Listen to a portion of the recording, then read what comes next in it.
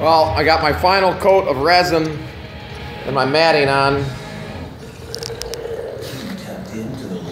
Starting to turn out really nice. It's coming together. Just waiting for it to cure. Got a little heater here to speed up the process a little bit. But I'll be I'll be ready to start bondoing this thing later today. Next hour or so. Sand her down, bondo it. There's gonna be speakers in here yet today. We'll be jamming.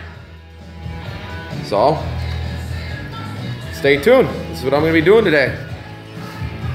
Then later on, I'm gonna be going out on Lake Winnebago and do a little sturgeon spearing, prospecting.